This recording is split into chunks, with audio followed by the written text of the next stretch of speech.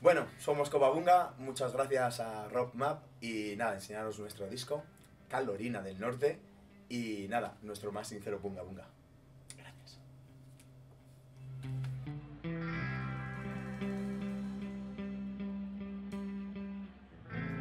De, de escuchar mu- mucho rock diferente, imagino, ¿no? Sí, este viene más del grunge, Kike igual escuchaba más punk rock y así, bueno, y Sí. metal. Sí, también algo de Y yo también, eh, de- hace muchos años, en mis tiempos mozos era súper heavy.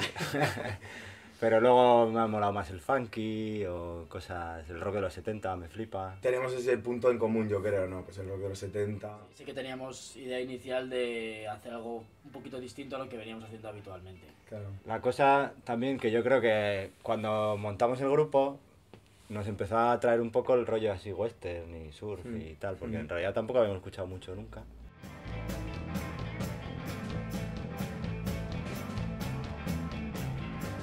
Bueno, yo creo que sí que tiene relación en realidad, ¿no? Yo sí que veo, mm, no sé, la música western me, me recuerda mucho al, al surf rock, ¿no? Hay muchas canciones de surf rock eh, con ese toque western, bueno. Nosotros en nuestro disco, bueno, la de Eléctrica Jiménez es yo creo esa fusión entre western y, y surf, y, que es una canción de surf rock.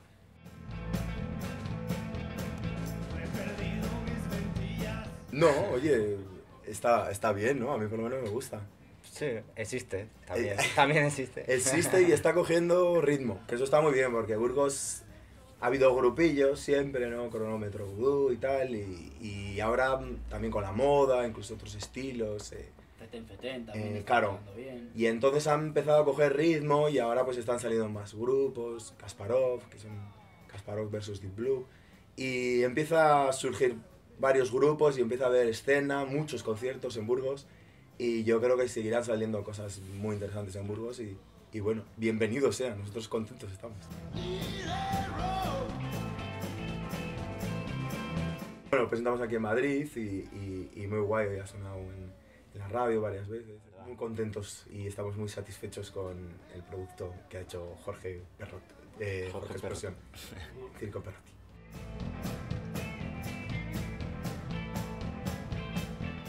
Cuesta, hay gente que le cuesta. Bueno, de primeras en Burgos yo creo que fue sencillo decir el nombre Claro. de Sí. Carolina del Norte y asociar la música más calurosa, más surfera que hacemos Claro. pues con una ciudad como Burgos. La gente lo entendió bien, que era la broma del título Claro. del disco y... Y bueno, sí que ha habido algunos medios que no lo han entendido, que han pensado que era una errata incluso el nombre del título de, del, del LP, pero bueno.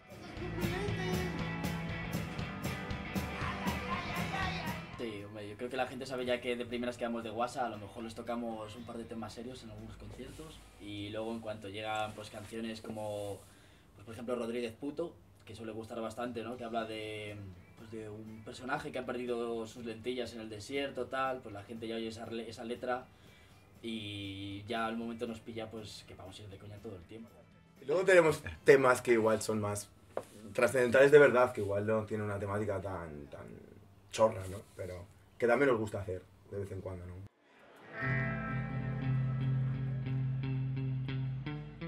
Cuando sacamos el, el EP, pues sí que eran la mitad de las canciones instrumentales y la mitad con voz.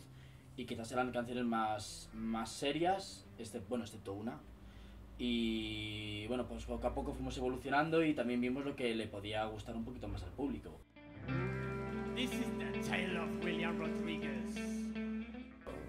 Intentamos que sea una fiesta, ¿no? También Sí. es, yo creo, lo que nos, Suele nos, ser nos llamaba, nos llamaba. Bastante chorra y cercano, yo que sé. Siempre, de hecho, estamos haciendo bromas entre nosotros y tal. Sí, y- Sobre todo Nos yo los comentarios entre canción y canción al micro que hacen reír a la gente, o una explicación muy larga de una canción que al final acaba en una broma.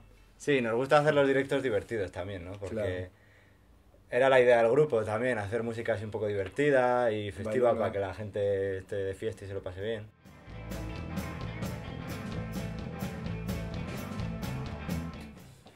Hombre, a mí me encantaría tocar en el sonorama, básicamente porque yo he ido sonorama tras sonorama desde que, desde que pues era muy pequeño el sonorama, desde hace casi 10 años.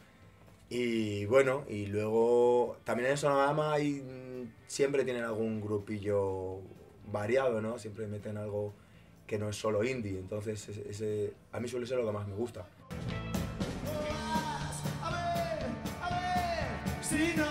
No, no hemos parado, desde antes de sacar el disco ya estábamos con. ya habíamos compuesto cosas y. Y ahí seguimos, estamos, o sea, eh, ensayamos para conciertos y también sacamos tiempo para ir componiendo nuevas cosas. Y todavía estamos decidiendo a ver qué... Ayer mismo cuál- estuvimos ensayando a hacer unos temas que, que, bueno, que nos gustan bastante y van... Y ya que ya tenemos ganas de, de- Ya estamos hablándolo mientras veníamos de camino aquí, cuál es lo siguiente, ¿no? Pero bueno, eh, nos gustaría darle la vida, por lo menos, un, hasta el próximo año, ¿no? En este Sí. disco, seguir girando y tal. Sí. Aunque ya pensando en el siguiente, ¿no?